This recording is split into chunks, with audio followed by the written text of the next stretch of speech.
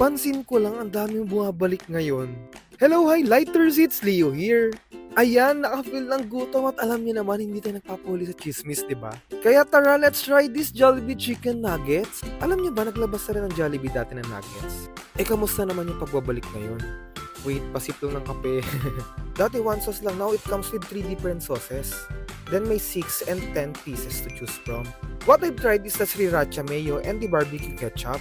You'll get one dip if you buy 6 pieces and 2 dips for 10 pieces. And verdict time, so how was it? I'll give it an 8 out of 10. No carrots this time, may pagka-firm yung texture niya at mas siksik yung laman. Then mas feel ko yung lasa ng manok actually. For this sriracha mayo, I'll rate it a 6 out of 10. Blend of sweet, sour, and spicy, pero it's not for me, medyo weird yung lasa. Or I'm not used to it pa. And for the barbecue ketchup naman, 5 out of 10 for me. Para siyang teriyaki sauce na may aftertaste na hindi ko trip. Yung ranch sauce kaya, hmm, mas masarap po ng sauce.